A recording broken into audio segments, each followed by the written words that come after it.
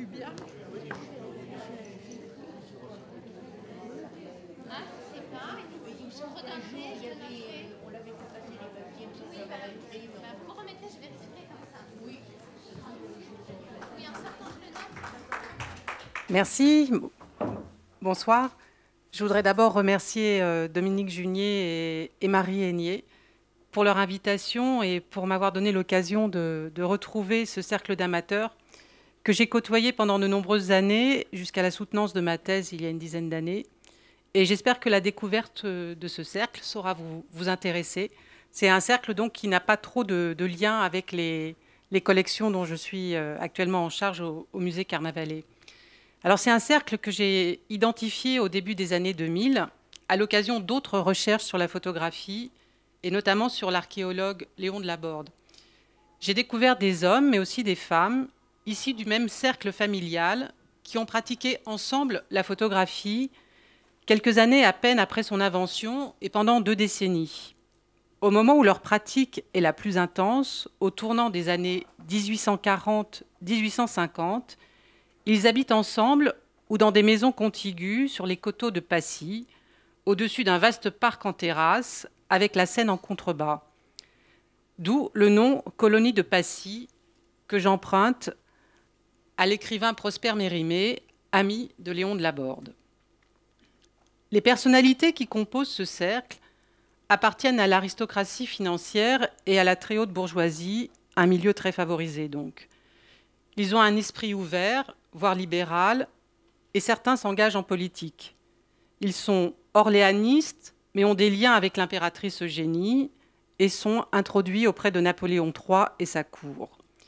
Ils ne détestent pas les mondanités, les femmes tiennent salon et ont de l'influence, et tous partagent un goût pour les arts et les sciences.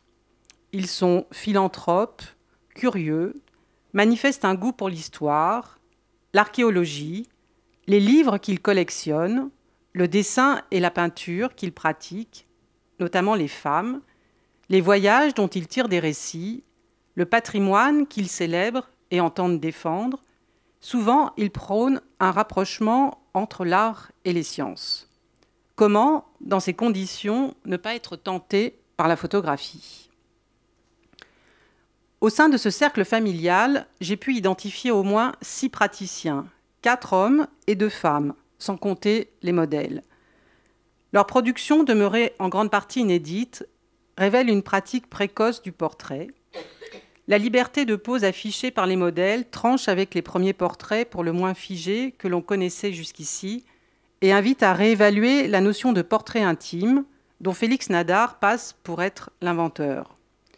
Ce cercle joue également un rôle central et méconnu dans la promotion de la photographie.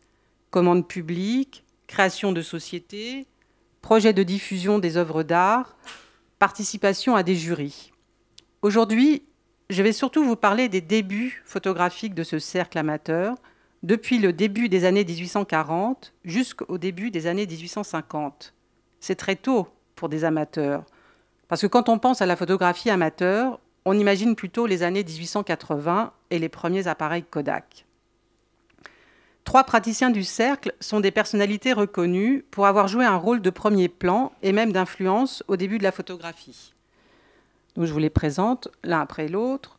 Léon de Laborde, qui est le fils de l'archéologue Alexandre de Laborde. Benjamin Delessert, fils du banquier François Delessert. Édouard Delessert, qui est le fils de Gabriel Delessert, le préfet de police de Louis-Philippe. Léon de Laborde est l'oncle d'Édouard, et ce dernier est le jeune cousin de Benjamin Delessert. Jusqu'à nos recherches, Benjamin et Édouard de Lesser étaient les seuls pour lesquels une production photographique était en partie identifiée. Deux femmes aussi réalisent des prises de vue. Valentine de Laborde, qui est l'épouse de Gabriel de Lessert, le préfet de police, Cécile de Lessert, leur fille, et sans doute aussi Édouard Baucher, le beau-frère de Valentine et de Léon de Laborde. Aujourd'hui, nous pouvons attribuer avec certitude des images essentiellement à deux d'entre eux. Le premier, Léon de Laborde, qui domine la production des années 1849-1853, et le second, Édouard de Lecert, qui domine la production des années 1854-1862. Outre ces six praticiens, une dizaine de personnes jouent un rôle périphérique.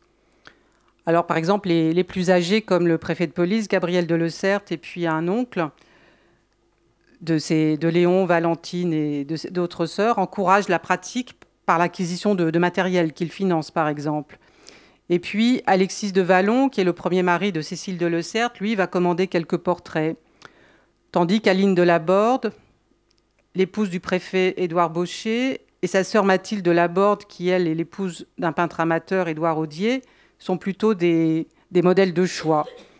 Et puis il y a aussi la, femme de Léon de Laborde, et puis la, mère de ces derniers, la comtesse euh, de Laborde, qui pose, mais avec peut-être un peu moins de, succès. Et les enfants sont également sollicités. Emmanuel Baucher, par exemple, le fils aîné d'Aline, joue à la fois le rôle de modèle et d'assistant avec son père, Édouard Baucher. Le cercle de Passy se constitue grâce au mariage de Valentine de Laborde et Gabriel de Le donc l'égérie de Prosper Mérimée et le préfet de police de Louis-Philippe. Vingt ans les séparent, mais leurs familles ont des profils assez similaires. Elles sont toutes deux influentes en France depuis le XVIIIe siècle, que ce soit dans la finance, la politique, la philanthropie et les arts. La famille Laborde est issue du Béarn, anoblie sous Louis XV à l'occasion d'une ascension fulgurante que la Révolution française n'épargne pas, et qui retrouve sous Napoléon Ier un titre de comte puis de marquis. La famille de Le est issue de la bourgeoisie genevoise protestante et donne naissance à une dynastie de banquiers.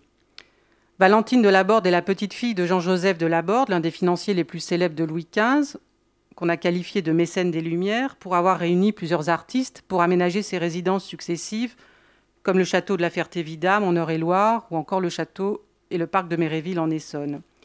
Gabriel de Lecert, lui, est le plus jeune fils d'Étienne de Lecert, fondateur de la banque du même nom, ami de Jean-Jacques Rousseau, et qui constitue une galerie de peinture qui sera enrichie par ses fils. Valentine de Laborde et Gabriel de Lecert étant issus d'une nombreuse fratrie, le cercle familial s'étend aux frères et sœurs et aux familles des conjoints. Deux événements successifs, l'un familial et l'autre politique, vont favoriser un rapprochement géographique sur la colline de Passy autour de l'année 1848. Le choix de Passy comme lieu de villégiature revient à la famille de Lecert, plus précisément au banquier Benjamin de Lecert, qui est décédé en 1847 à Benjamin de Lecert et à sa sœur aînée, Marguerite Madeleine de Lecert. En 1863, ils, achètent ensemble rue Basse deux maisons. Donc là, vous voyez un, plan qui vous permet d'identifier. Euh, pardon. Ouais. Donc c'est là les, les, deux, maisons qui sont construites sur deux hectares de coteaux sur la colline de Passy. Les deux propriétés ne sont pas adjacentes, mais comme vous pouvez voir sur le plan, les deux jardins en terrasse se rejoignent vers la Seine sur les quais de Passy. Cette acquisition comprend également des dépendances, remises, écuries, jardins, jardins fruitiers et potagers, qui sont situés de l'autre côté de la, rue Basse, donc là, qui est aujourd'hui cette rue-là, la, la rue Rénoir, et qui s'étendent jusqu'à la grande rue de Passy, ils ont ainsi aussi un droit d'exploitation, de vente et de distribution des eaux dont la source se trouve dans le jardin. Dans les années qui suivent, Benjamin de Lecert poursuit activement ses acquisitions de maisons et de terrains à Passy, en particulier sur la rue Basse, de part et d'autre de sa maison. Au tournant des années 1820-1830, il est propriétaire sur la rue Basse, du côté des numéros impairs, de cinq maisons, sa sœur en possède une, et de plusieurs dépendances en face. Benjamin de Lecert conforte également ses acquisitions sur le quai de Versailles et de Passy, où les différents corps de bâtiments, magasins, caves, hangars sont consacrés à l'exploitation des, eaux minérales et de la raffinerie de sucre. Il forme. Oh, pardon. Voilà une image de, la propriété vue depuis le, parc. Et c'est pour montrer qu'il forme un, domaine familial assez impressionnant en bordure de Seine et de Paris. Dans son testament, rédigé en 1845, Benjamin, Benjamin donne la plupart de ses maisons de Passy à son frère François et trois à son autre frère Gabriel. Il meurt en 1847. À cette date, seuls quelques membres du cercle sont installés à Passy. Au-delà des biens mobilier et immobilier, chaque frère hérite d'un million quatre cent mille francs. C'est donc un héritage considérable qui revient à François, Gabriel et leurs enfants, qui reçoivent personnellement une part et vient ainsi conforter leur aisance financière. La révolution de 1848 et la chute de Louis-Philippe vont inciter plusieurs à se replier, sur Passy autour de Valentine et de Gabriel de Pour certains, une nouvelle vie commence à l'écart des affaires publiques. Gabriel de abandonne la préfecture de la Seine et avec sa famille fuit en Angleterre sous le nom de Dawkins avant de revenir à Passy quelques mois plus tard. Édouard Baucher, lui, n'est plus préfet du Calvados et Léon de Laborde doit quitter ses fonctions au Louvre. Pour la plupart, la situation se rétablira assez vite. En mai 1849, Édouard Baucher est élu député du Calvados et Léon de Laborde réintègre le Louvre. Édouard Baucher évoque ses rapprochements heureux à son père en octobre 1848. Je vous cite des éléments de, correspondance qui sont assez nombreux grâce à un fonds d'archives familiales. Nous vivons le plus tranquillement possible. Monsieur et Madame Audier sont établis dans la même maison que nous. Nous faisons ménage commun. Chaque soir, la famille se réunit tantôt chez Madame de tantôt chez Monsieur de Laborde ou chez nous. Nous avons, avec toutes les misères de la chose publique, le bon côté de la vie phalanstérienne. Donc je vous montre cette image voilà, qui permet de voir dans les maisons euh, dans lesquelles ils, habitent et qui sont euh, les unes à côté des, autres. C'est donc au sein de ce phalanstère de la rue Basse, où tous s'occupent des maisons voisines, dans ce qui est encore le village de Passy, de l'autre côté de la barrière de l'octroi, que s'épanouit à la fin de l'été 1849 une passion commune pour la photographie. Passionné d'art et d'archéologie, collectionneur, mécène, philanthrope, à toutes ces qualités, les membres de la colonie de Passy ajoutent une pratique des arts du dessin, à laquelle il est de bon ton de se livrer dans l'aristocratie ou la haute bourgeoisie de cette époque. Les descendants de Jean-Joseph de Laborde pratiquent le dessin au crayon ou au pastel, font de la peinture à l'huile, mais surtout de l'aquarelle, et notamment des portraits, un genre qui sera privilégié quand il s'agira, pour ce même cercle, de prendre des photographies. Trois femmes excellent dans l'aquarelle. Valentine, je vous montre un portrait de, son gendre euh, Alexis de Vallon. Et puis aussi sa fille Cécile, avec ici un portrait de sa tante euh, Mathilde. Mathilde aussi qui, est repérée comme, euh, comme aquarelliste. Leurs contemporains leur reconnaissent un, talent pour restituer les, les, expressions les plus spontanées.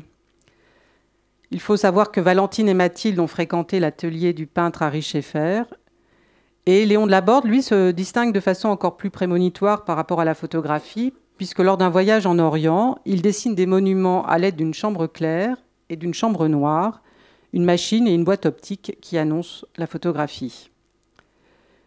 Les membres de la colonie de Passy ont connaissance très tôt de l'invention de la photographie, puisque François de Le le père de Benjamin, fait partie de la commission mise en place par Arago pour fixer la récompense à attribuer aux deux inventeurs, Niepce et Daguerre.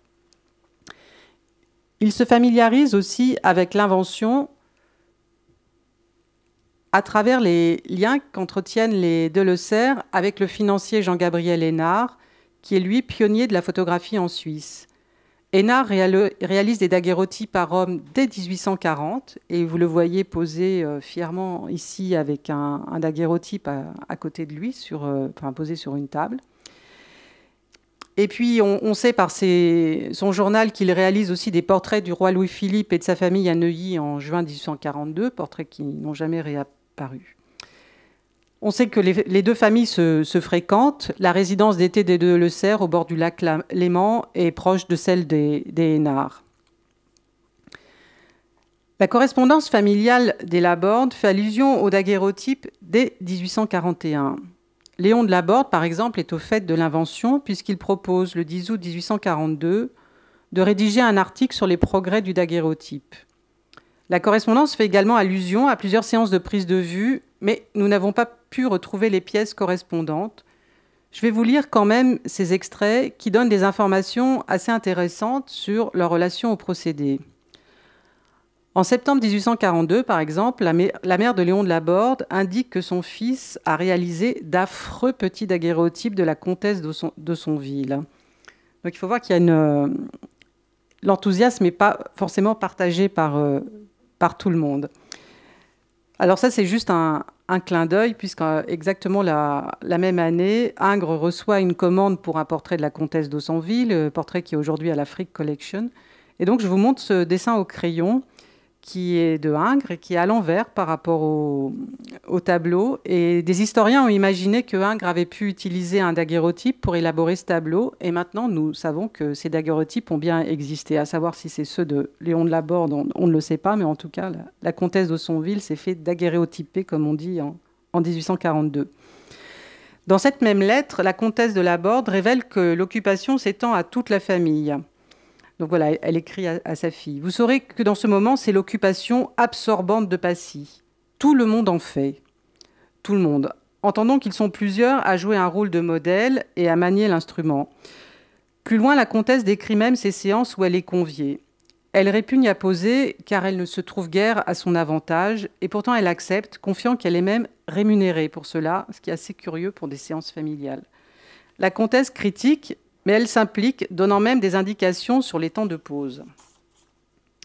Alors je cite Je trouve, et je suis payée pour cela, que c'est une hideuse chose, tout en m'étonnant beaucoup de ce qui s'obtient en si peu d'instants, car à présent c'est en quatre secondes, les plus longs n'y mettent pas une minute, et quelquefois il y a des résultats étonnants. Je ressemble à ma égère ou à la bonne de Caroline, la jeunesse est de rigueur pour ne pas être affreuse. La comtesse dévoile enfin dans sa lettre les projets photographiques de son fils. Je la cite encore. Léon projette d'emporter un appareil à Beauregard pour faire ses petits endormis. Les temps de pause étant encore longs, les enfants sont en effet plus faciles à photographier quand ils ne bougent pas, quand ils dorment donc.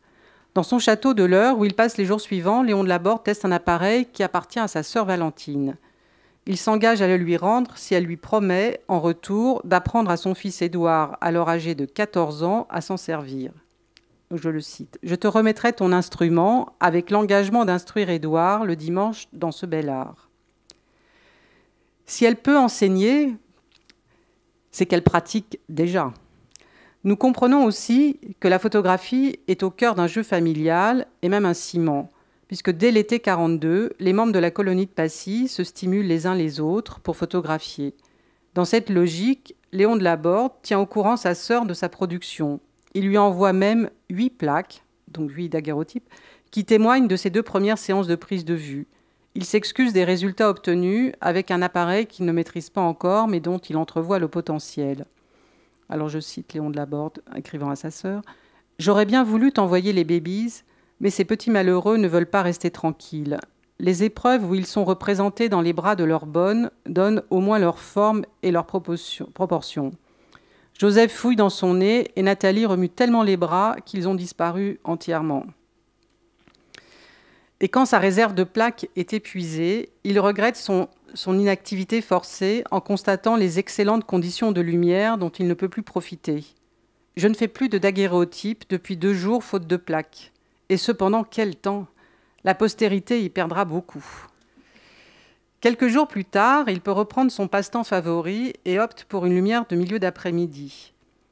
Quand vient le soleil de trois heures, je fais des daguerreotypes et j'en veux tant faire que je n'aurai plus de regrets en te rendant ton instrument. Espèce de, rage comme ça, hein, on voit, à photographier. De retour à Passy, il montre à sa famille les nombreux daguerreotypes qu'il a réalisés pendant l'été. C'est un des traits du cercle. On photographie seul ou ensemble, puis on dialogue autour de la production et on l'évalue. Et on est toujours plus nombreux à pratiquer, à commenter. Le cercle, en cette fin d'été, comprend un nouvel adepte du daguerreotype, le jeune Édouard de 14 ans. Tout cela, nous le tenons toujours de Thérèse de Cabre, qui tient une sorte de chronique familiale pour sa fille Mathilde, alors à Rome. Donc je cite encore la comtesse de Laborde. Léon est revenu de Beauregard hier matin avec force d'aguerréotype. C'est la rage ici. Comme partout, malgré le hideux des résultats qui ne sont bons que lorsqu'on connaît parfaitement quelqu'un et pour méditer le souvenir, trop désagréable sans cela. Mon frère a donné un, un instrument à Édouard qui passe toutes ses récréations à ses productions. Il fait dans les gens. Adolphe de Le Serre, qui a assez de talent, s'adresse aussi à cette classe et il a le front de leur faire payer 25 sols pour la plaque. Et il ne fait cette réclamation qu'à eux, faisant le généreux dans sa famille. Conçoit-on le raisonnement à l'envers Thérèse de Cave nous apprend donc que son petit-fils Édouard s'est mis à la photographie, hein, on est en 1842 toujours. Elle trouve décidément vilains les portraits obtenus avec le daguerreotype, mais comprend que l'intimité avec le modèle permet d'obtenir un meilleur résultat. Elle conçoit aussi qu'une telle image est précieuse pour garder le souvenir d'un être cher. Elle reconnaît enfin le talent d'Adolphe de Le mais se dit choquée que ce dernier ose demander de l'argent à ses domestiques en échange de leurs portraits. Il ne le fait jamais aux membres de sa famille, c'est même l'inverse. On se souvient que Thérèse de Cabre, elle, est payée pour poser. Édouard et Adolphe de Le photographient tous deux des domestiques qui apparaissent rarement sur des daguerreotypes. En effet, les, clients des professionnels se recrutent essentiellement au sein de, la bourgeoisie en raison du coût élevé de l'opération. Le prix de revient d'une plaque est estimé à 6 francs par Léon de Laborde en 1849. Après septembre 1842 et pendant quelques années, la correspondance familiale ne fait plus allusion à la photographie. Nous retrouvons néanmoins des membres de la colonie de Passy sur plusieurs daguerreotypes réalisés par Hénard en Suisse ou à Paris. Hénard profite des réunions familiales ou amicales pour faire poser ses invités sur le perron de sa maison de Beaulieu, au bord du lac Clément, Souvent, il trouve le moyen d'insérer sa silhouette au sein de ses groupes et, plus exceptionnellement, il opère à Paris. Et c'est le cas ici. Il réalise une photographie sur la terrasse de, Passy. On reconnaît l'escalier derrière, le, banc sur lequel posent les, différentes personnes. C'est un daguerreotype qui est conservé à, Genève. Et on peut reconnaître plusieurs membres de la famille euh, de Le Serre, dont vous avez peut-être entendu parler. Donc je vous remonte quelques visages. Euh, ici, c'est Benjamin de Le Serre. Et puis au, premier plan, pardon parce que c'est un peu flou, je vois pas bien, euh, Cécile de Le Serre et sa mère, par exemple, là, Valentine de Le Serre. J'ai pu identifier encore euh, d'autres daguerreotypes, on les voit, et notamment deux qui sont issus d'une même séance de pause, où là, je vais pouvoir vous montrer euh, Léon de Laborde, sa mère, donc qui n'aime pas être photographiée, comme vous le savez maintenant. Et puis au premier plan, euh, Cécile de et de nouveau euh, Valentine de Le et ici l'épouse de, de, Léon de Laborde. Et sur la, une autre photographie faite le même jour, on voit que tous sont ont changé de, de, de pose. Voilà, ils sont un peu, un, peu, un peu mélangés. À la fin des années 1840, Hénard continue à utiliser le, le daguerréotype. Léon de Laborde, lui, semble explorer la nouvelle technique du négatif positif sur papier. c'est ce que nous déduisons des souvenirs du directeur des Beaux-Arts, le marquis de Chenevière. Ce dernier se remémore en effet une séance de portraits avec Léon de Laborde sur la terrasse du, quai Malaquais. Donc, euh, il se souvient de, cette séance de, pause euh, où il pose pour, euh, pour Léon de Laborde. Donc, je cite Chenevière. Un jour, très aimablement, mon voisin voulut bien me proposer d'essayer mon portrait en photographie. Il en résulta une épreuve qui ne satisfit que médiocrement l'auteur. Il n'avait pas prévu la décomposition par la lumière de la couleur rousse de la barbe, il se trouvait que la barbe et cheveux paraissaient également noirs, et cela joint à la physionomie un peu sombre à ce moment, me donnait un faux air de jeune pelletan. Il réussit beaucoup mieux un autre portrait, qu'il tenta à la suite du mien, c'était celui du vieux monsieur Audier, le beau-père de sa sœur. La tête était poudrée à blanc, et le procédé alors incomplet de son instrument s'en accommodait mieux. Le manque de sensibilité au rouge, le côté expérimental de la séance, tout cela peut signifier que Léon de Laborde réalise là ses premiers essais sur papier. Ce procédé, emprunté à Talbot, l'anglais Talbot, et amélioré par le Lillois Blancard-Évrard, est divulgué lors d'une séance à l'Académie des sciences le 27 janvier 1847, dont le compte-rendu est publié en in extenso.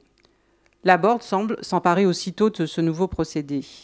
et pour gérer au mieux ses écueils techniques, il s'en remet en 1849 à Gustave Legray, qui est alors un des photographes les plus prometteurs de son temps. C'est ce qu'indique encore le marquis de Chenevière à propos de la Borde. Il se passionna dès l'origine pour la photographie. Son neveu, Édouard de Lecerre et Benjamin de Lecerre, cousin d'Édouard, ne furent-ils pas avec lui des premiers élèves de Legray, le plus adroit praticien de ses premiers temps?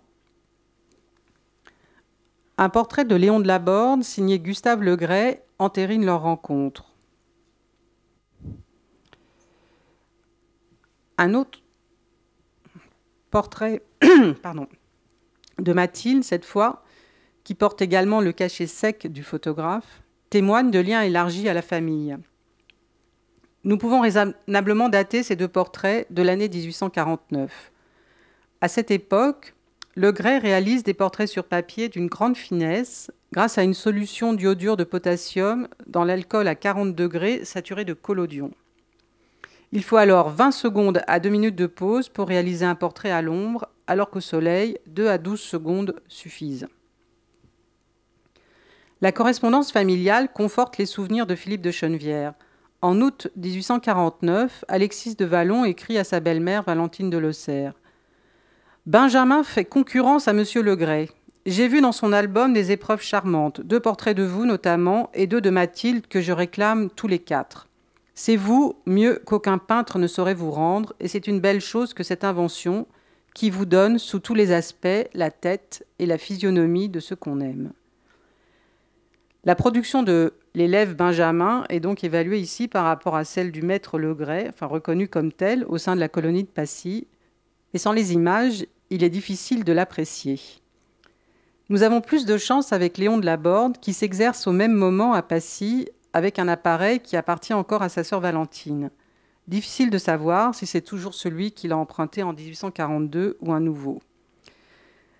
Je peux vous montrer non seulement ses essais de l'été de l'automne 1849, mais citer aussi encore des lettres où il partage ses expériences, ses tâtonnements, ses échecs et ses succès avec sa sœur Valentine. Ces lettres, particulièrement riches en informations techniques et pratiques, témoignent de l'ambition de Léon de Laborde, qui cherche à obtenir des images plus nettes et plus grandes. Il teste toutes les étapes, depuis la préparation des négatifs papier jusqu'au tirage des épreuves. Autant de manipulations qui exigent concentration et ténacité.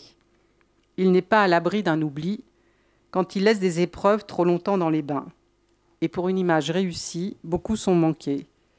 Certains paramètres sont impossibles à maîtriser, comme le mauvais temps, ces modèles ne résistent pas toujours aux longues séances de pause. Sa sœur Aline, écrit-il, n'arrête pas de parler, et son neveu Emmanuel fait des grimaces.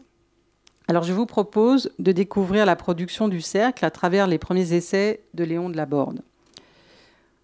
Donc je vous invite à regarder plutôt la photographie du duo qui représente Aline, euh, les, les mains jointes, les coudes appuyés sur une colonne.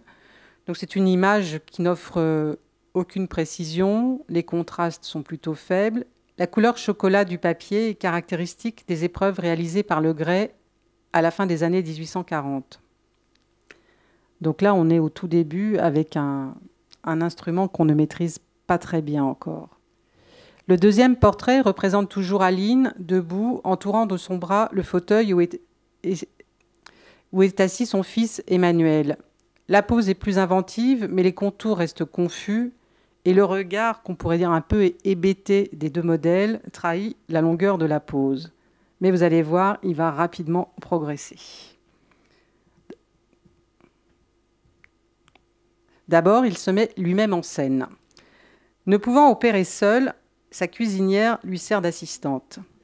C'est elle qui enlève et replace le bouchon sur l'objectif, et il trouve une solution assez astucieuse pour l'avertir du moment où elle doit mettre fin à l'exposition du négatif.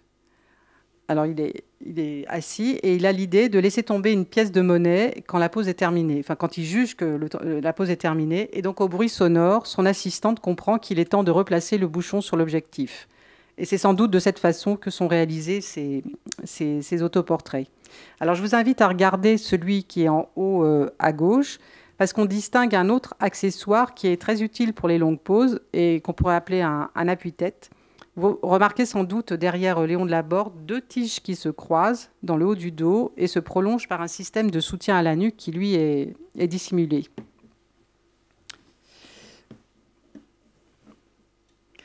Alors les, lettres qui sont heureusement conservées donnent aussi des indications sur les temps de pause en fonction des papiers utilisés, anglais ou français. Donc on apprend par exemple que les papiers français sont beaucoup plus rapides mais moins fiables. Un temps de pause de 10 secondes à l'ombre est conforme à ce que Le annonce dans son traité de juin 1850. Et Léon de, de Laborde réalise, dit qu'il réalise sur du papier anglais un portrait photographique de son ami Mérimée en une minute et demie. Hein. C'est vrai que c'est des, imaginez des, des pauses quand même qui restent assez longues pour ces modèles. Les essais que Léon de Laborde adresse à sa sœur provoquent l'enthousiasme de la famille. Gabriel de informe sa fille Cécile, alors en Corrèze, des prouesses de son oncle. Léon fait de magnifiques daguerréotypes sur papier par un nouveau procédé. Dans ses lettres, Léon de Laborde évoque aussi son équipement. Il en dresse la liste et on réalise l'investissement considérable que cela représente. Plus de 700 francs quand le salaire journalier d'un ouvrier est de 2 francs. Pour progresser, il a besoin d'un nouvel objectif qu'il attend avec impatience. Dans cette liste, nous voyons aussi qu'il s'équipe de réflecteurs. Et ces derniers, on utilise toujours ça hein, pour euh, faire des, films, pour, euh, avoir, euh, pour travailler la, lumière. Et on apprend dans, les lettres qu'en fait, ces réflecteurs remplacent des toiles qui étaient auparavant tendues par les domestiques. Vous voyez donc que ces derniers sont mis à contribution à plusieurs reprises pour poser les bouchons, tendre les réflecteurs.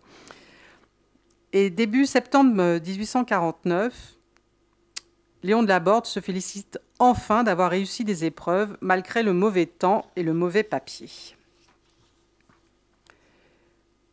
Donc il écrit toujours à sa sœur Valentine. Mathilde m'a amené ce matin Emmanuel et elle a posé avec lui d'une manière toute distinguée. Seulement il pleuvait, le papier était mauvais et le reste, toutes choses qui ne m'ont pas empêché de faire cinq bonnes épreuves, dont un groupe.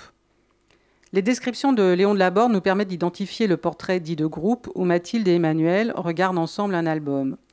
C'est une image encore peu nette, mais plus convaincante que celle où on voyait Aline avec Emmanuel, l'air un peu euh, dans le vague. Nous identifions aussi facilement les, les portraits individuels. Les modèles portent exactement les mêmes vêtements. Donc là, on retrouve Emmanuel avec la même euh, redingote à boutons métalliques très sérieux. Il se tient debout, une main glissée dans, son habit, le, regard au loin. Mathilde pose de façon plus conventionnelle, appuyée sur une colonne, la même sur laquelle s'appuyait sa sœur Aline. Vous allez voir, ce, type d'accessoire va disparaître assez vite dans la, dans la production. Fin septembre 1849, Muni de son nouvel objectif, dans lequel il place de grands espoirs, Léon de Laborde transporte l'ensemble du matériel dans l'heure sur cette terre de Beauregard où il a pratiqué le daguerréotype sept ans plus tôt. La réussite n'est pas d'emblée au rendez-vous, il doit trouver de nouveaux repères, les paramètres à maîtriser sont nombreux.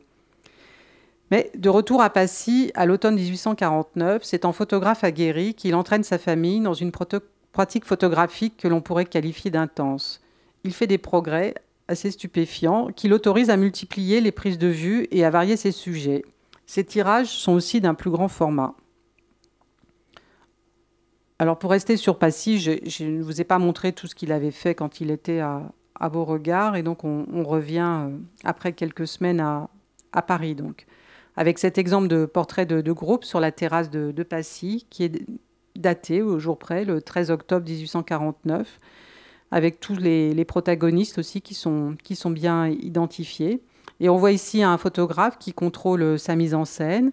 Il a installé ses modèles devant un, grand drap qui est fixé au mur de la, de la villa, sans toutefois occuper tout le champ de, l'image. Hein. Comme ça, on, on, met en scène, mais on nous explique quand même bien ce qui, ce qui se passe. Euh, il n'y a pas d'interrogation pour savoir si on est en intérieur, en extérieur. On, sait, on sait où on est. Et vous voyez peut-être aussi comment les, images, les modèles se présentent, qui sont tous liés de deux à deux. Par exemple, euh, Aline qui pose la main sur l'épaule de, de Gabriel Delessert. Là, ça peut vous aider à les identifier. La, la comtesse de Laborde qui, elle, euh, pose les mains sur celle de son petit-fils Emmanuel. Alors, vous reconnaissez peut-être euh, Valentine qui est assise au, au, premier plan et qui entoure de ses bras son fils Édouard qui lui est à ses pieds. Et puis euh, complètement à gauche, Édouard Baucher seul, debout. Lui, lit un journal. Alors, Léon de Laborde manifeste un goût pour la mise en scène, mais il tient à ce que ses compositions soient vraisemblables et que ses modèles n'aient jamais l'air figés. Je vais vous présenter plusieurs vues qui sont qui sont pas datées, mais qui sont certainement réalisées au, même moment, à l'automne 1849, parce qu'on retrouve ce, même drap fixé au, au, pan du mur. Et puis, ce qui est étonnant, c'est ces images qui montrent des, des, modèles dans des positions qui semblent vouloir défier la longueur des temps de pause. Donc là, par exemple, vous voyez Aline, assise de profil, qui tient assez haut un verre à la main, alors que son fils Emmanuel se présente debout face à elle avec un, un plateau. Et sur cette épreuve, tous les éléments de soutien sont visibles, comme si le photographe voulait montrer la complexité de l'exercice. Le fil, qui tient à la fois le verre et le plateau, qui est sans doute relié à une poulie euh, qu'on ne voit pas hors champ, et puis peut-être, euh, c'est plus difficile à, distinguer, mais vous pouvez peut-être voir euh, un, morceau de l'appui de tête derrière Emmanuel qui l'aide sans doute à maintenir la position euh, debout. Il y a un petit bout qui dépasse là.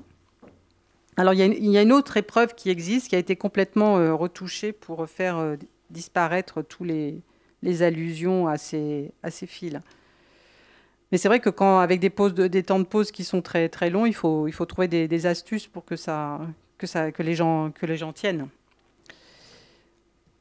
Alors, dans une autre mise en scène réalisée au même endroit, on voit ces trois modèles qui sont de, debout de, de, profil. Donc, Valentine qui s'appuie sur l'épaule de son fils euh, Édouard et Emmanuel qui se tient penché juste, euh, juste devant. Alors que tous regardent dans la direction donnée par le, doigt tendu euh, d'Édouard, et alors peut-être que là, vous, distinguez aussi un espèce de marchepied sur lequel est certainement posé l'appui-tête, mais surtout un, balai qui, par un effet de raccourci, a l'air d'être posé le long du mur, mais qui sert en fait de soutien pour le bras étendu euh, d'Édouard. Toutes ces compositions de, de, groupe témoignent de recherches de poses intéressantes et même ludiques, où les accessoires sont astucieusement utilisés. On est loin de la, colonne hein, qu'on voyait tout à l'heure. Après avoir expérimenté les poses mettant en scène plusieurs modèles, Léon de Laborde s'essaye au portrait individuel. Le 14 octobre 1849, il fixe le visage de chacune de ses trois sœurs. Cette date représente un jour particulier, à savoir l'anniversaire de naissance de Valentin Baucher, décédé à l'âge de 8 ans, 5 mois auparavant. Là, on voit Aline Baucher, sa mère, donc vêtue de noir, qui dissimule ses cheveux sous un grand voile blanc qu'elle retient avec ses mains. Elle pose devant un fond en tissu dont on devine les plis. Donc il faut imaginer, tous ces portraits sont faits en, extérieur hein, pour bénéficier de, la lumière, même si on a l'impression qu'on ne voit pas le, décor extérieur. Et elle regarde l'objectif placé au-dessus d'elle. Son visage, pris entre deux bandeaux de cheveux noirs, se présente à l'intérieur du voile, parfaitement rendu dans ses détails et son volume. Aline saisit légèrement en surplan et bouleversante dans sa façon de retenir le voile près de son visage et surtout de fixer le photographe malgré des yeux gonflés. Ses mains, dont les poignets sont entourés de dentelles noires, ne se confondent pas avec le blanc du tissu, ce qui est une prouesse. Le portrait est abouti techniquement et la mise en page l'est aussi. Aline ne semble pas poser, mais saisit au moment où elle se tourne vers l'objectif. Une très grande intimité se dégage de ce portrait que je trouve pour ma part magnifique. Toujours en octobre 1849, Léon de Laborde réussit un portrait en gros plan de son fils Joseph qui occupe tout le cadre de la photographie. Un tel gros plan est alors vraiment inédit.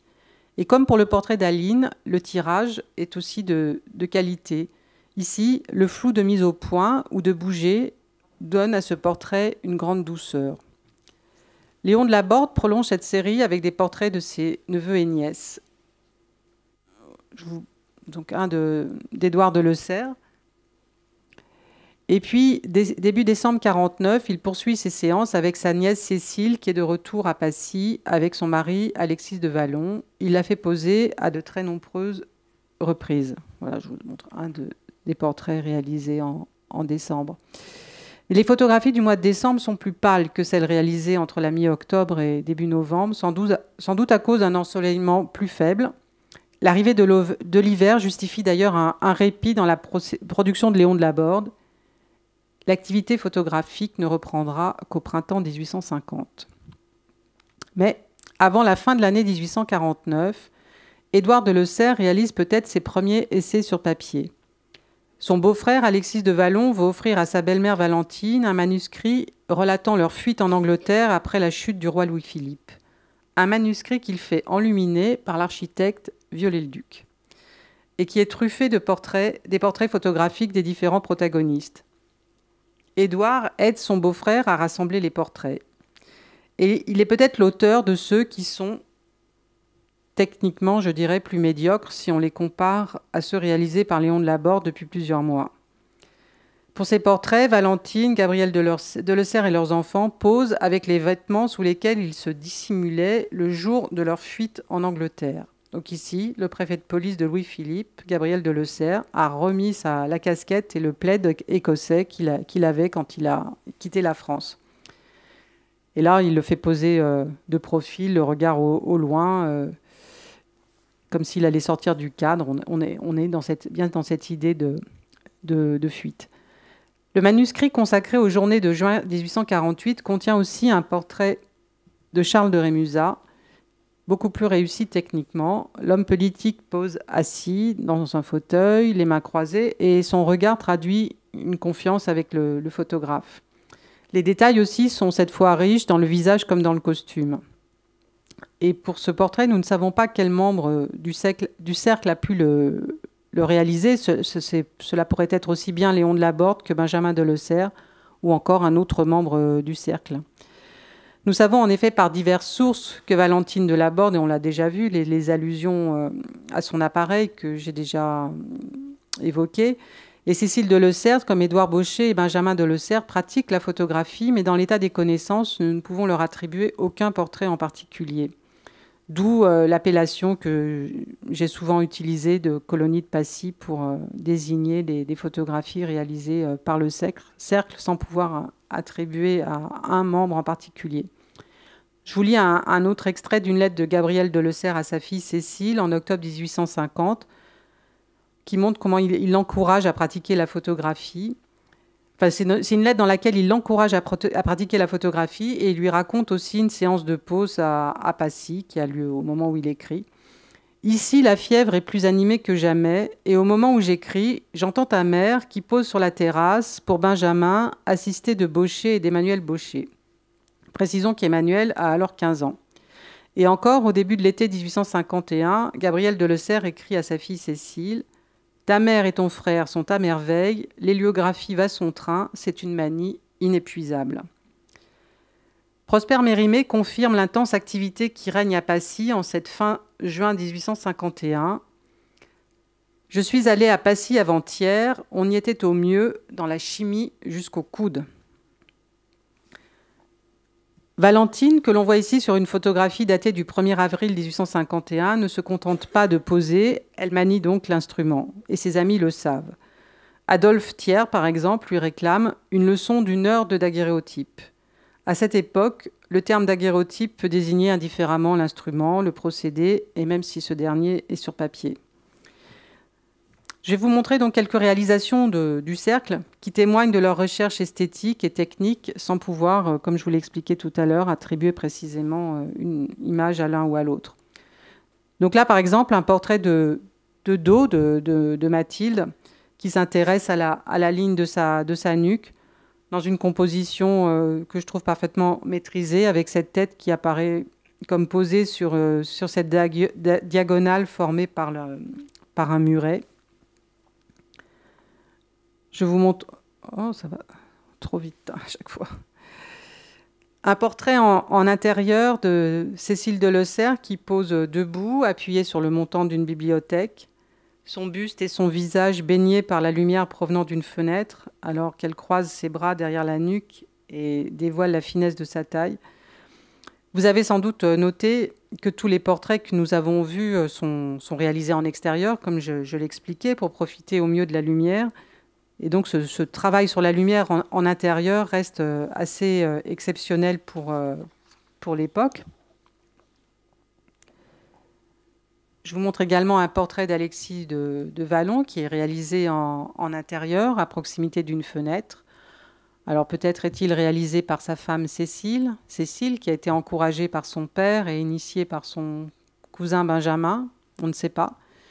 Nous pouvons en, revanche dater ce, portrait avant euh, l'été 1851. Euh, Alexis de Vallon décède en effet brutalement par noyade durant ce même été, et cet accident tragique porte un très rude coup au cercle. Certains, très éprouvés, s'éloignent de Passy. Pour ceux qui restent, en particulier Léon de Laborde, la photographie reste un bon dérivatif. C'est Joseph qui informe sa mère. Tout le monde va bien à Passy, où l'on fait du daguerréotype. Papa en remplit le cadre qui est auprès de son lit. Un autre événement fracture encore un cercle resté fidèle aux Orléans, le mariage en, 1852, donc en seconde noce de Cécile de Le Serre avec le légitimiste Sigismond de Nadaillac. Dans la famille, là, c'était le, le froid. Mais bon, les photographies montrent que le cercle continue cependant à fonctionner au-delà de ces deux événements et en 1853, Mérimée les imagine encore tous pratiquer leur passion. Vous ne me donnez pas de nouvelles de la colonie de Passy, écrit-il à son ami de Laborde. Je suppose qu'elle est toujours en bonne santé et qu'elle cultive sans encombre la photographie. Sans pouvoir toujours identifier les, auteurs, donc je cherchais aussi à, identifier les, caractéristiques et les qualités des, portraits de, ce cercle. J'ai identifié une, certaine aisance à, poser, qui est présente dès 1849 chez les modèles de Léon de Laborde, une aisance sans doute liée à l'histoire de la représentation familiale. À une époque où beaucoup accèdent pour la première fois à la matérialisation de leur image sur un daguerreotype ou sur un tirage photographique, les membres de la colonie de Passy possèdent déjà de nombreux portraits d'eux. Il y a d'abord les tableaux commandés à des peintres, quelques sculptures aussi, et puis ensuite, les trois sœurs Laborde, élèves d'Harry Schaeffer, qui peignent et dessinent à l'aquarelle leur entourage. Et les portraits photographiques du cercle témoignent d'une recherche de, naturel qui nous semble assez inédite. Rien de forcé, rien d'insistant, rien de factice dans les poses, et cette liberté contribue à instaurer une intimité entre les modèles et le photographe. Cette exploration de l'intimité et des liens d'affection qui unissent les membres de ce cercle est parfois remarquable. Une photographie en particulier échappe à tout ce que nous pouvons connaître. Elle représente Mathilde qui se retourne pour embrasser sa sœur Aline. Cette dernière fixe l'objectif comme pour prendre le spectateur à témoin de ce geste affectueux. Pour ma part, je, ne connais pas de photographie de cette époque représentant un baiser avec une telle pudeur. Un autre portrait étonnant représente Aline debout en extérieur posant dans un grand vêtement blanc. Cette femme qui pose dehors, en chemise de nuit, en dénouant ses longs cheveux qui descendent jusqu'à la cheville, offre une image d'une intimité extraordinaire. Ce geste particulièrement sensuel témoigne néanmoins d'une très grande retenue, et en photographie, l'exercice est périlleux, et les images sombrent assez vite dans un érotisme vulgaire. J'ai noté aussi un certain goût pour la recherche de l'instantané. On l'a déjà évoqué avec tous les, accessoires euh, mis en place pour euh, déjouer les, temps de pause. Hein, c'est un, autre trait caractéristique de cette production, la faculté de laisser croire au spectateur qu'il est invité à surprendre, voire à partager des moments d'intimité familiale, alors qu'il s'agit de pauses particulièrement bien agencées. Ce ne sont pas des instantanés et pourtant cela y ressemble.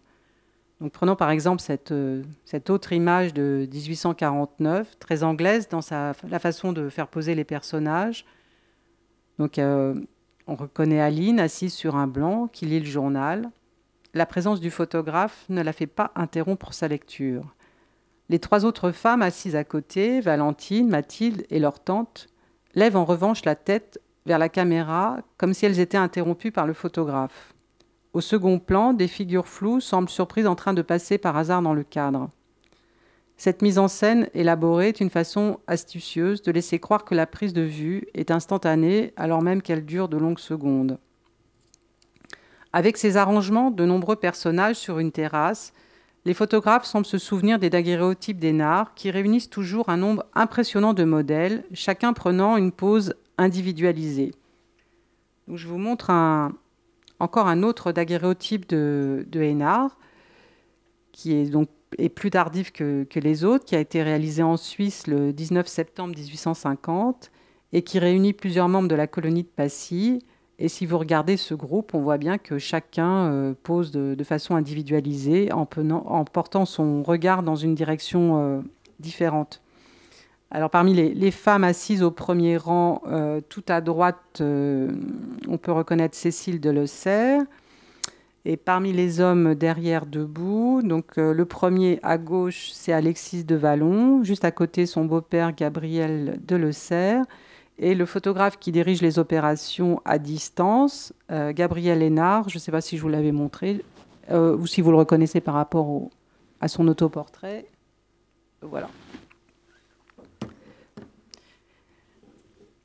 Un autre trait qui m'a intéressé, c'est la maîtrise de la, lumière, de voir comment les membres du cercle cherchent à maîtriser les limites de l'outil en réalisant par exemple des portraits en pleine lumière. Je vous en montre euh, quelques-uns. Par exemple, en février 1851, Mathilde, en, robe sombre, pose accoudée sur le dossier d'un fauteuil. Premier exemple. Oh, sur une autre image, au cours de l'été, elle pose debout dans une robe claire en plein soleil sur la terrasse du, chalet qui fait partie de, qui est dans la propriété. Et il s'agit bien d'une prouesse technique car malgré la lumière vive, la robe est restituée dans sa texture. Hein. On n'a pas du blanc. Euh, sans aucune euh, matière. Ça, la robe ne se réduit pas à une masse blanche. Et puis cette autre euh, image aussi, que je trouve très belle, où on voit sur cette même terrasse du, chalet Mathilde qui pose euh, avec une robe sombre et on voit sa belle silhouette qui se dessine dans un très léger contre-jour, dans une composition parfaitement maîtrisée. Et puis il y a aussi les portraits en gros plan, je vous en ai montré quelques-uns euh, tout à l'heure, qui s'inscrivent dans la liste aussi des, prouesses de ce, de ce, cercle. Et puis il y a un, portrait qui pourrait résumer ces, recherches. Il est, plus, euh, il est plus tardif, d'après Négatif Vert. Il représente Cécile assise sur une chaise, la main droite soutenant sa tête, la main gauche sur sa taille, dans une pose euh, assez incroyable parce qu'elle opère comme un, basculement du, corps pour épouser le, dossier de la chaise, espèce de, geste qui a l'air d'être même comme une performance, avec un décor qui est d'une simplicité absolue, un fond neutre, une chaise, c'est tout. Cette jeune femme du monde porte une robe très simple, resserrée autour de la taille, qui s'évase en, large plis sur ses genoux, comme pour répondre au mouvement des bras, et qui devient le prétexte à une belle étude de matière, les cheveux relevés en chignon découvrent un visage assez austère qui ne cherche ni à sourire ni à séduire, et son regard semble perdu dans ses pensées. L'ensemble est à la fois d'une sobriété absolue et d'une complexité très étudiée, une forme de, quintessence de ce qu'on pourrait appeler l'esthétique du, cercle de, de Passy. Tous ces portraits circulent intensément dans la famille. Cette ronde photographique incite à considérer ces amateurs non comme des plasticiens isolés, mais comme un cercle soudé où chaque membre a besoin de faire évaluer par l'autre le résultat de ses expériences. Les épreuves s'échangent et sont collées dans les albums. Ceux que j'ai pu consulter rassemblent les portraits des membres d'une même famille issus de multiples séances de pause. Hein, c'est des albums, mais on ne peut pas encore tenir, la, chronique euh, familiale comme vous pouvez imaginer les albums de, de famille par la suite, ponctuée de photographies de voyage, etc. C'est vraiment organisé autour de, portraits des différents membres de, la famille. Et ces portraits circulent au-delà du cercle de, Passy. Nous en avons retrouvé par exemple dans les albums d'Adrien Constant de Le qui est l'époux de Julie de Delessert, cousine de Benjamin et Édouard de Delessert. Les albums qu'il avait constitués ont été dispersés aux enchères en, 2011 et je vous montre quelques pages d'un album qui a été acheté par le Musée national suisse de, Zurich. Pour montrer sur cette page à gauche où on peut reconnaître euh, tous les modèles évoqués. Donc en haut à gauche, euh, Édouard de Delessert, à droite, Benjamin, au milieu, c'est Gabriel de le préfet de police, en bas à gauche, Cécile de et à droite, son premier mari, Alexis de Vallon. Ici à gauche, nous reconnaissons tous les modèles. À droite, on peut reconnaître aussi des photographies que je vous ai déjà montrées, par exemple l'autoportrait de, Léon de Laborde en bas à gauche, et puis cette fameuse image de Cécile dans la bibliothèque en bas à droite. Les portraits occupent une place privilégiée dans la production de la colonie de Passy, mais ils ne la résument pas. Je me suis un peu concentrée sur le début de la production et je ne peux pas vous montrer tout ce qu'ils ont fait. Donc la plupart de ces portraits ont été réalisés sur des, les terrasses pour profiter de la, lumière exceptionnelle qui les, baigne. Et puis si on regarde autour, le cadre évidemment est, magnifique, hein, cet immense parc qui descend en terrasse vers la Seine et qui appartient au, au et qui a été le, sujet de, plusieurs euh, images. Il y a un premier ensemble qui s'apparente plutôt à des essais. Je vous avais montré euh, au tout début de la conférence euh, ces images des maisons euh, fait partie d'un ensemble de, négatifs qui sont conservés à la médiathèque de l'architecture et du patrimoine. Une vingtaine qui ressemblent plutôt à des, à des essais. moi, j'ai pu dater autour de 49-50. Mais là, cette image vous permet de, montrer le, lieu où se sont déroulées l'essentiel des séances de, de portraits, cette terrasse euh, avec sa situation exceptionnelle.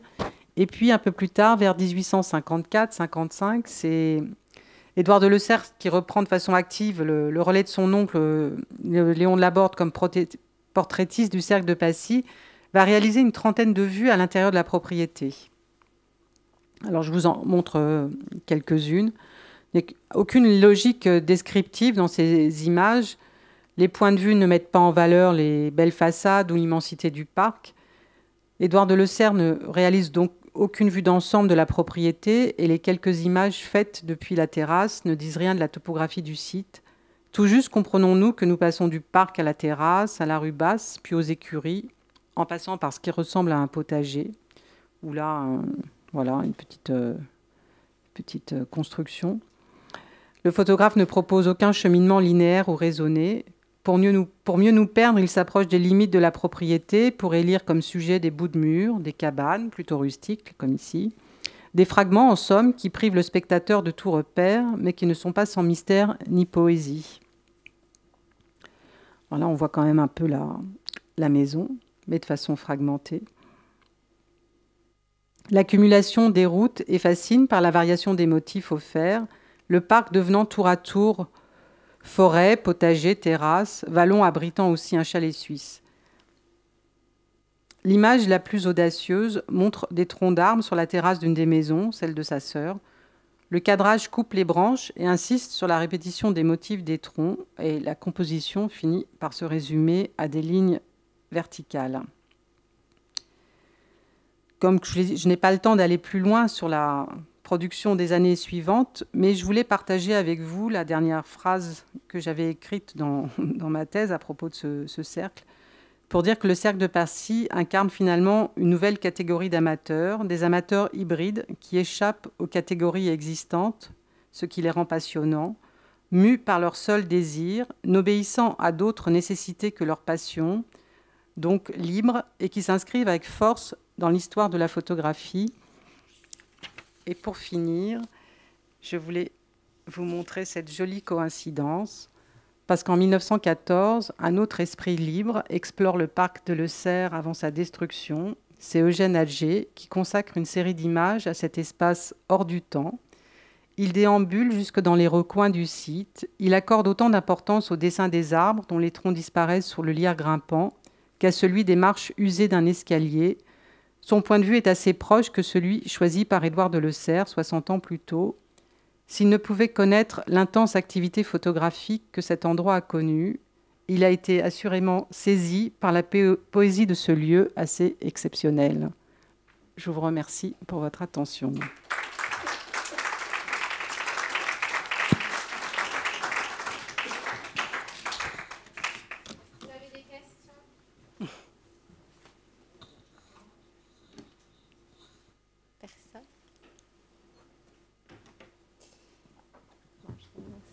Et comment ces photographies ont-elles été conservées eh ben, L'essentiel de ce que je vous ai montré est dans un fond euh, familial et d'autres photographies sont apparues sur euh, le marché de l'art et sont aussi dans des collections euh, privées. Mais bon, depuis quelques temps, depuis ma thèse, il y a quand même des éléments qui ont rejoint les collections publiques par exemple un ensemble de, dessins qui est maintenant à la médiathèque de l'architecture et du patrimoine, de dessins qui étaient rassemblés euh, par Mérimée. Et puis les, ben, négatifs, euh, sans doute faits par Benjamin Delessert, qui représente la, propriété de Passy en 1849-50, sont également en collection publique à la, à la médiathèque de l'architecture et du patrimoine. Mais ce serait bien qu'effectivement euh, il y a un peu plus d'autres éléments euh, qui soient accessibles, facilement accessibles. Une autre question? Vous avez satisfait la curiosité de notre public. Hein? eh bien, merci, un grand merci. À toi, est-ce qu'on connaît d'autres euh, fonds de photographie un peu similaires, de, des, collections de Dans des familiales euh, de, photographes bah Moi, j'ai trouvé ce fonds assez, euh, assez exceptionnel. Là, j'ai montré qu'un petit bout, mais il y a des épreuves qui existent en double, il y a des épreuves d'essai, il y a... c'est assez copieux, puis il y a toute la production postérieure des années, euh, à partir du milieu, enfin des, des années 50 jusqu'au début des années 60 que je n'ai pas pu montrer ici. Voilà, sur le, avec ce schéma un peu de, conférence, c'était difficile.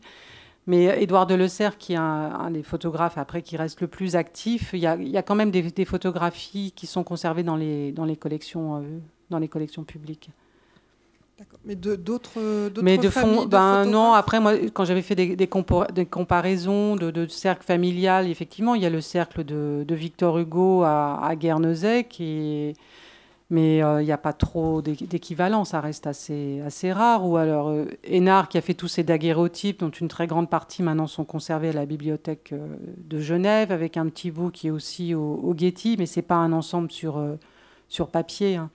Non, je pense que ça reste, euh, enfin jusqu'à d'autres découvertes, mais pour l'instant, ça reste quelque chose d'assez exceptionnel, assez tôt hein, par rapport à la pratique photographique aussi. assez tôt et assez naturel. Vous l'avez bien ah souligné oui, dans les poses, dans les, dans les sujets. Bien sûr, bien sûr. C'est vraiment étonnant. Oui, c'est très étonnant. Moi, c'est ce qui m'a le, plus euh, saisi quand j'ai vu pour la première fois les, les albums. J'avais la chair de poule. Merci beaucoup. et la prochaine conférence, c'est le 21 euh, avril, donc, et c'est Ilsa Nabou sur les photographes ambulants.